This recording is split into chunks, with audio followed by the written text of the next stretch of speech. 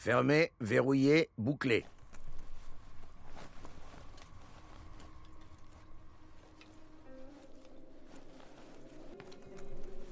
Ça, vous devez rebrancher les câbles de sorte que chacun corresponde à la séquence.